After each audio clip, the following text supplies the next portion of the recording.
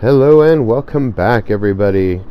Uh, today's episode is called Everything But the Draugr. Uh, and it's called that, unfortunately, because uh, I, I, I set a timer for my recordings, and uh, unfortunately, the timer shut off exactly before the boss fight. And then I thought I turned it back on, and uh, so episode 4 we'll play some catch up uh, what ends up being missed, and it's not much, so uh, no big deal. But here I am uh, in Riverwood, having just left Beselt, and uh, unfortunately, there's uh, the guy from the Dawnguard waiting for me to come out of the store. Uh, but I'm gonna stop in here and grab the quest for the Golden Claw. do a little bit of shopping potentially, and and then we'll head out to find Faendal and Bleak Falls Barrow.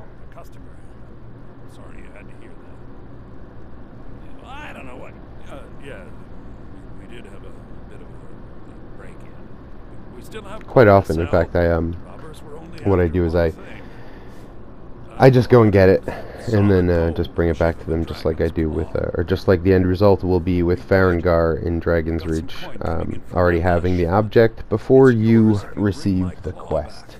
Um, and that's one of the things uh, I, I will say for anyone who who found the freedom initially daunting is that uh, if you really just play, you you end up completing quests.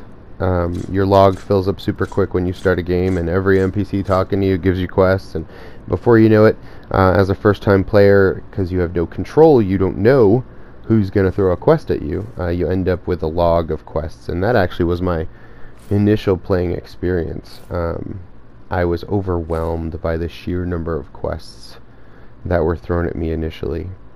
Um, and then, you know, then I realized the trick was that time stops for everybody but you. Everybody will stand in place except you. Once you know that, those quests can wait. But also, most of those quests will self-complete if you just explore, if you find caves and dungeons and uh, complete them, you'll you'll end up just completing a number of those quests all, all without trying. Um, so here I'm just selling a bunch of stuff. Uh, a note is that my level has gone up quite significantly, and uh, I'm at level 20, I think. Um, and that's because I changed armor again. I smithed a bunch of stuff up, uh, tested a bunch of things on him uh, to see how I liked them, found a couple things that I liked, and then I uh, I changed them out for something else, and uh, but I smithed the whole lot of them. So my smithing went up uh, quite a bit, and that, that jumped my levels. Um, and uh, so some of the stuff I sold uh, is, is just some of the stuff that was available to Smith and, and some of the stuff that I tried. Um, and here I, I have this uh, every now and then every every my the things I like to buy change um, because I like buying the or getting the houses and, and building those I always buy goat horns because when you need goat horns they're super hard to find uh, so half the time lately I end up with a, a ton of goat horns. Um, so you see, I just actually cleared out well, their inventory. I mean, their their money um, with all the stuff that I had to sell. So that my speech went up a couple, uh, which was whatever. I mean, uh, listen, actually, that that actually drives me crazy. When you start this game and you start selling things, they offer you nothing, absolutely nothing for the value. Uh, and then they turn around and they sell it for 16 times what they just gave you. Um, that that always sort of offended me. Uh, so uh, one of the things I obsess about is increasing um, not my speech, but my my ability to get discounts at the store, my barter ability. Uh, so I always have that stuff on my armor and my uh, gear. Uh, and there was just another quest waiting for me to to receive it. Um, and here you're going to see me blatantly ignore Faendal and his request for me to get involved in his love life. Uh, I don't want him as a follower, so I don't really feel like lying to Camilla. Um, and uh, hmm, taking a pause here to determine if I want to find something else to do to push my level uh, to 21 before I go, or if I should just then I can train again with Faendal is the point. Um, if I level up now, I can train again, get my archery up, and then uh, head out. But I'm just going to go for it. And I know, I know there's a road to get to Bleak Falls Barrow, um, but I have, I think I've only found it once by by luck, uh, maybe. So I always just uh, aim in the general direction, and then Start scaling mountains.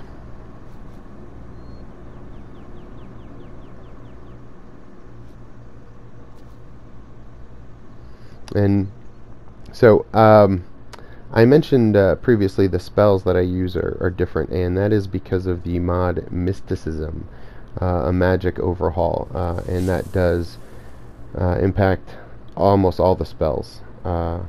And uh, they make one of the spells I'm I'm going to use in this playthrough quite useful, and that's uh, Repel Undead. Um, instead of just the generic, I love that shot right in his nasal cavity. Instead of just the generic repelling, it also does damage. Uh, so it's uh, super useful, and one of the focuses I feel like uh, for for Boaz, he's he's he's not really going to focus on using destruction magic. Uh, he might occasionally use some in, in his defense, uh, but he's going to try and focus more on utilizing restoration spells whenever possible. Um, and so uh, in the last episode, I grabbed out a bunch of potions. Some of those potions were blacksmith elixirs. So, uh, in addition to just crafting my armor and then smithing it up with my own leveled ability, uh, I also then used the potion and pushed the crafting up just a little bit more so that I do have that edge I mentioned before, uh, just that little tiny edge on my enemies. And uh,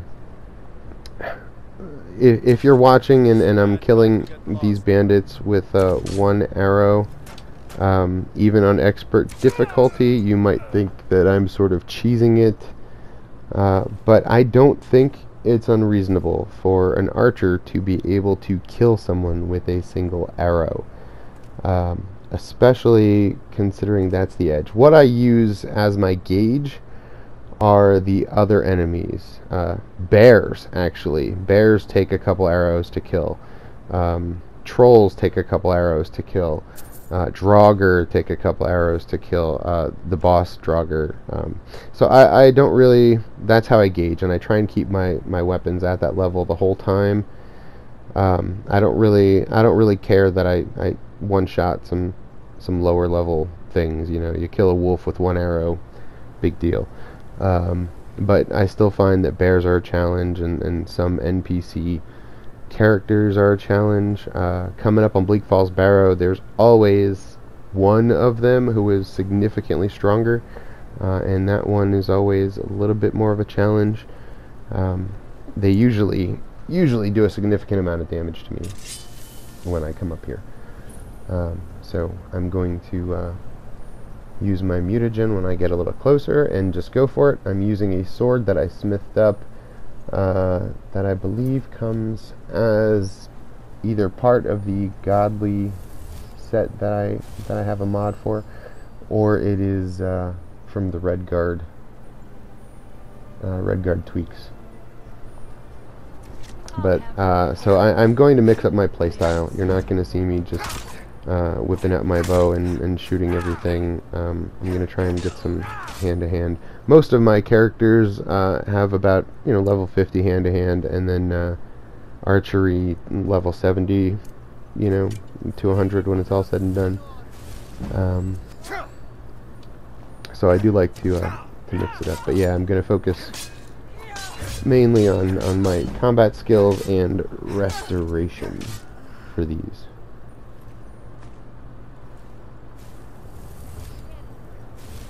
And gosh, I do love the uh, the Dawnguard spell, um, Stendarr's Aura. Love that spell. I wish it was uh, more powerful. Uh, also, I wish I could see when I had it equipped. Um, it's so blinding, so blinding, uh, and it, the damage isn't really very efficient. But every now and then, I like to throw it on, and I think I always end up putting it on with enemies that don't really count. You know.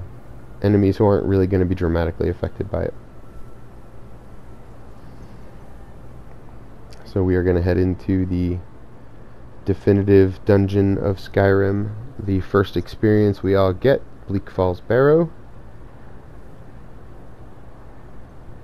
And uh, we will get through Bleak Falls Barrow in this episode.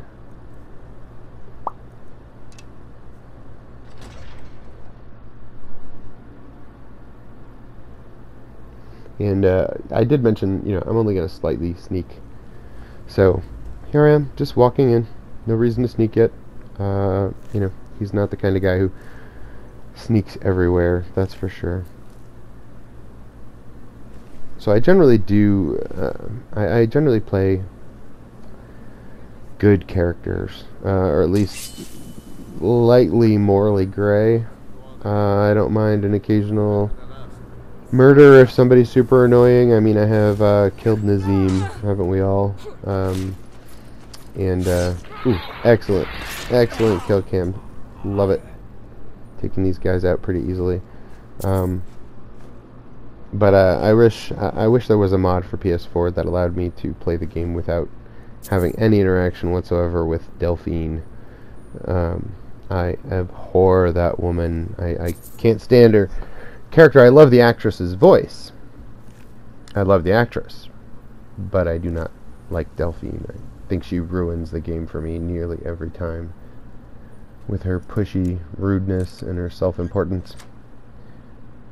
Anyway, uh, lockpicking, lockpicking is pretty easy, pretty straightforward for the most part, and you won't see me really struggle with many locks here.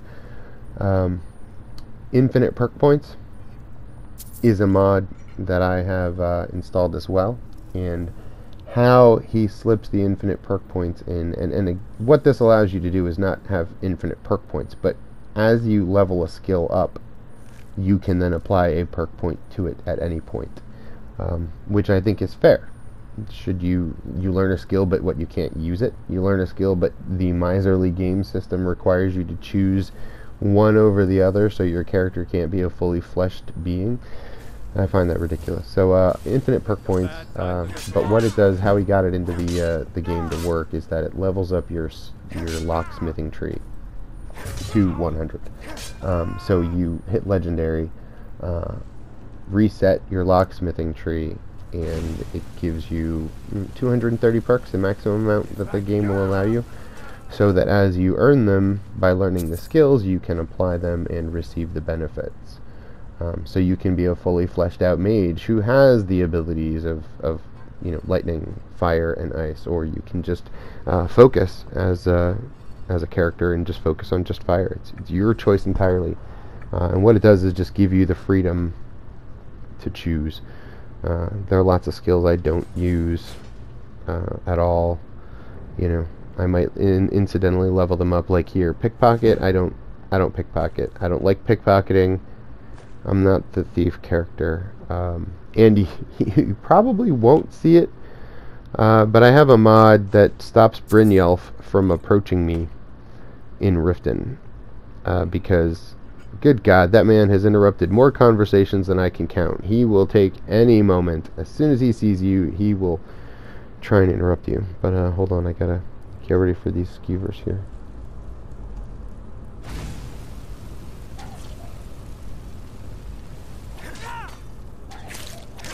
Die. Mm, there we go. Okay. Uh, wait, that's that's not it. There's always another one. Where are you? Oh, and here I am. Using destruction magic. Uh, so, uh, occasionally, I'm going to contradict myself from time to time, but uh, this was uh, previous to my current thought processes, but I am still focusing primarily on restoration. So, lots of Lots of active effects there. I do like to be able to take damage. Uh, that is true. I like to be able to take damage as uh, one of the balances that I try and set for my character. Uh, and I will craft numerous sets of armor uh, to adjust these things throughout the game because I, I do like to keep it more balanced than not. Um, honestly. So I do like cheats in the sense that uh, they are shortcuts. I don't have to spend, you know, hours and hours hunting for, you know, things because why, you know, or uh, doing something just because it's going to push me an additional 40 levels, um, which I don't find enjoyable. I don't really want to play 80 levels worth necessarily anymore. Um, and then uh, here we are at Arvel, Arvel the Swift. Get some spider eggs. And uh, approach Arvel and find out You- what he knows. You did it. You killed it. Now cut me down before anything else shows up. Yes, the claw. I know how it works. The claw, the markings, the door in the Hall of Stories. I know how they all fit together. Help me down and I'll show you. You won't believe the power the Nords have hidden there. Sweet breath If you do choose the, the hand over the claw first option, of course it says, I can't move my arms. How am I supposed to hand you the claw? Um, and here, I don't know when to kill him. I mean, he's going to run away. He always runs away, so I just kill him right away. So I might look like I'm a heartless ass wipe. But, uh, yeah. If I don't kill him, something else kills him, apparently. So, better me. I just killed him. He's dead. Got the claw. Mission accomplished. And that's uh, the only disappointment about this room is how many of these things are completely empty. I am a looter as well, uh, so during my playthroughs, I'm just gonna play like I play, as I said, and I'm gonna stop and grab the loot out of chests. Now we're coming up at the Draugr part. We'll switch to uh, repel undead.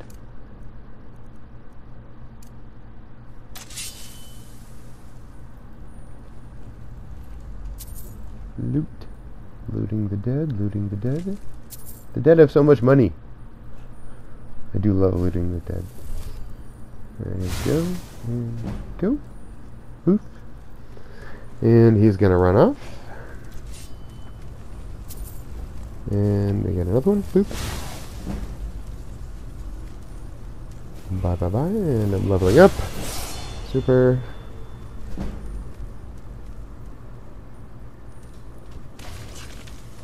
Whoa, ragdoll! he ran into the uh, the swinging guillotines, guillotines, the swinging blades of death.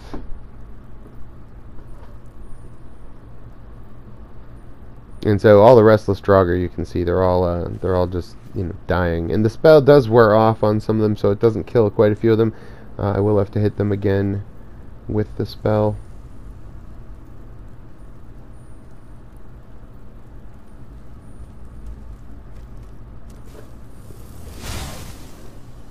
Go. Good shot.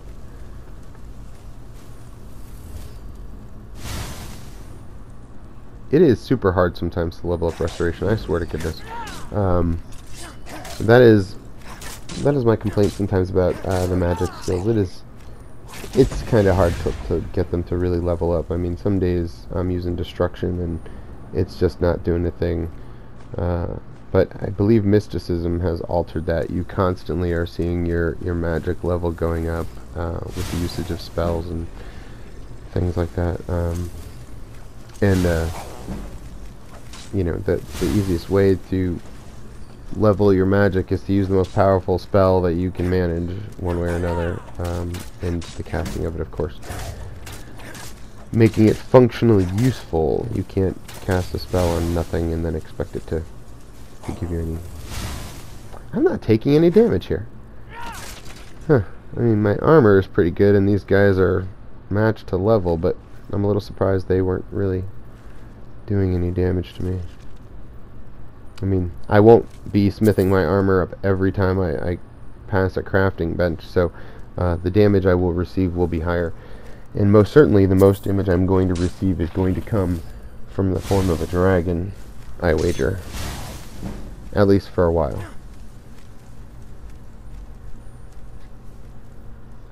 But here, Draugr, Draugr, Draugr. I actually want more Draugr to fight.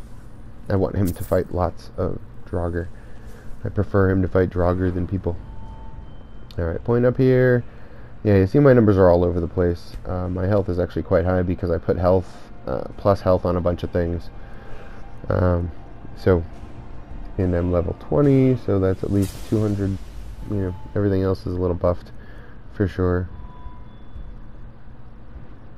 Uh, but I will I will end up altering these numbers constantly because it is one of the fun things I love. That aspect of the game. So, meh. Enjoy the playthrough. I do take damage. I do give damage. So, alright. This is always hard to get this chest. Hmm. Yeah. I, uh, what do I have that there? The skeleton key. Uh, I grabbed the skeleton key. It's from, it was from, uh, one of the wardrobes. Uh, it was just in there. And so I don't really need lockpicks. Uh, sometimes I, I, when I reactivate some of the lockpicking tree, I will choose uh, to leave the lockpicks breakable. Uh, but for expedience and uh, for this playthrough, I thought it would just be simpler um, for me to just use the mod that makes it easier for me to pick locks so that I don't have to waste time picking locks.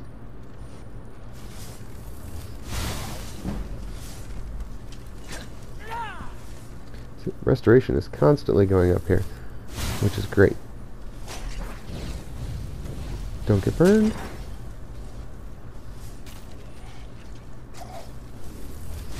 Come and get it. Come and get it. Line up, everybody.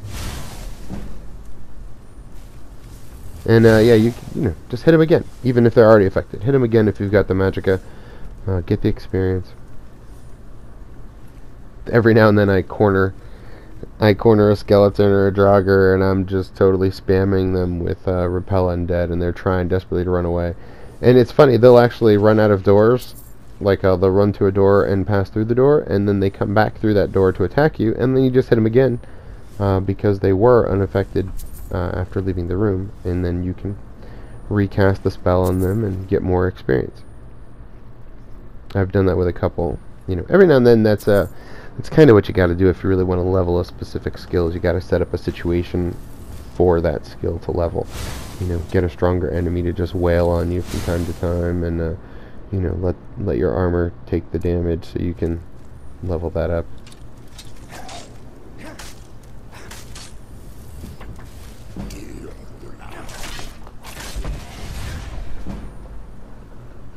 Boom.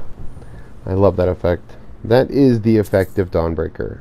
Um, and uh, again, I've, I've played so many times that the, the stuff that makes this fun uh, at this point is being able to use the, the different effects on the weapons and things like that. So instead of fire, it's it's the Dawnbreaker spell.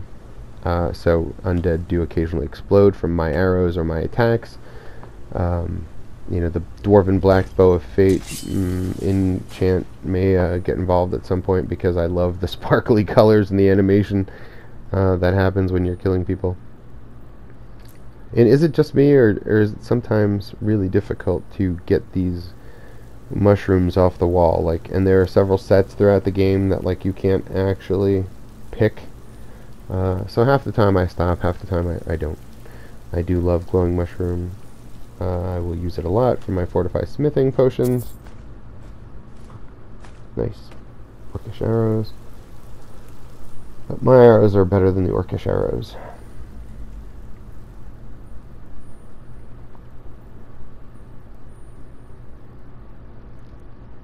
And I'm remembering that we are about to encounter a troll. And we're going to equip our bow because uh, I'm not really sure I want to face full-on troll claw damage. Because while those insignificant Draugr didn't really do anything to me, a troll's another story. So there, that, that took quite a few hits. That was good. That's good. I feel much more confident about the level of my bow. Uh, I won't be smithing it up anytime soon, that's for sure, but uh, I do it occasionally. Every, every, I don't know, bunch of levels. Every bunch of dungeons. Something like that. Or if I uh, just decide I want to wear a different kind of armor.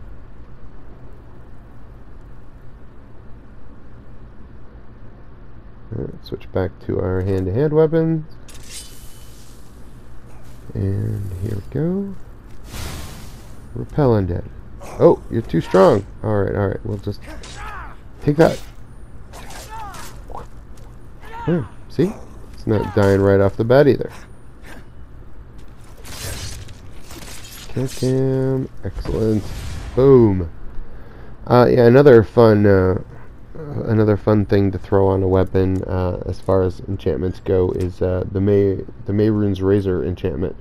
Um, if you can get it, things have a chance to insta kill. I mean, who doesn't love a chance to insta kill? Alright, so we're getting closer to the end of the dungeon.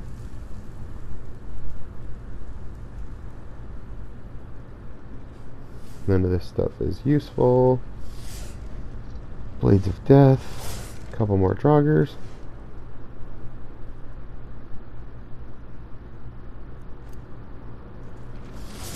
Yeah, we're gonna try and snipe a couple of these. Boom. Burning, burning, burn, yes.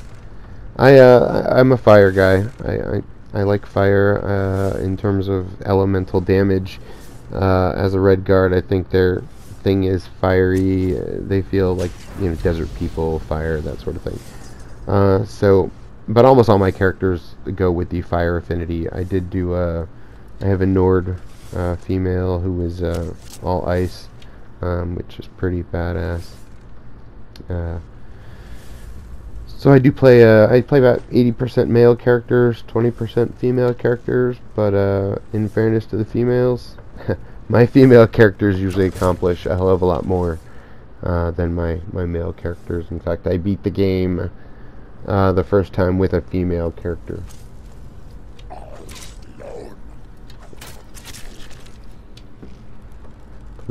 I, I feel kind of silly doing archery up close, but I feel even sillier pausing to change weapons.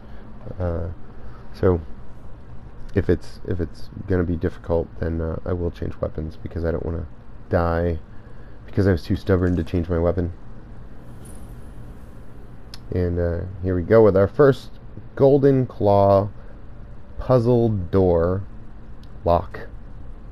And uh, I guess a lot of people don't really know this, but uh, they do they do explain it in the lore. Uh, and I have heard a couple people say it in, in videos as well, but uh, it, it, they tell you in the game if you pay attention to what's happening. Um, the locks on the doors are not to make getting in difficult. That's not the point of them. The point of them is to keep the Draugr in. That's the point of them. Uh, so all you need to get in is a claw and, you know, change a couple things and you're in, no problem. But who in their right mind would want to go into a Draugr infested crypt. Who? The Dragonborn. That's who. Oh yeah, that's the other thing. Uh, the Dragonborn should be able to maybe one-shot some humans with with a bow and arrow. I don't think that's insane. So, bats, awesome. Uh, and this cave is actually going to be the end of the episode for us, of course, because I know for a fact that it's going to cut off uh, right before the Draugr comes to life. So right now I'm just going to uh, get a chest or two back here. And, and, I didn't know about this chest for the longest time. Thank you, Fudgemuppet, for uh, helping me find this chest.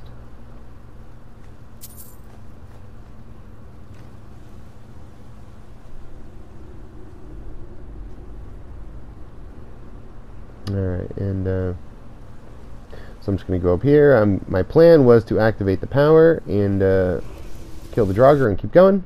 But we'll see you next time. Thanks. Bye.